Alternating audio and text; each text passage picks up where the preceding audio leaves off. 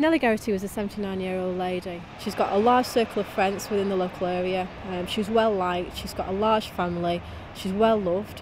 On the day that she was attacked, she was making her way for lunch at the, at the local community centre.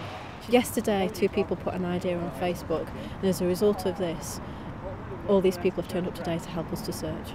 We've had over 160 people turn up today to assist the police with a search of the area for Nellie's handbag and contents. I've asked them to look for a green plastic spiral cord, a pink wallet with the word in Ocean Village on, a brown wallet potentially with a camel or palm tree design, a black purse, uh, a bus pass and some photographs of Frank.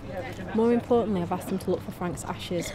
Now, I believe the ashes could be in any container. Previously, Nellie has kept them in a wooden box a plastic container. But more importantly, last week we believe that she had them in a, a lilac coloured or pastel coloured makeup bag. Nellie herself made a, a blue velour bag which was approximately 8 by 4 inches. Um, we believe that the container containing Frank's ashes may be inside this velour bag. We've got a large number of officers working long hours um, on a number of lines of inquiry. However, today what I'd like to do is appeal to the local community. I firmly believe that someone in this community must know something. I would ask them to search their conscience, do the right thing and to contact us. Nellie was a 79 year old defenceless old lady who was attacked in broad daylight. She was left injured, she was left alone, she was left unconscious. Someone out there must know something.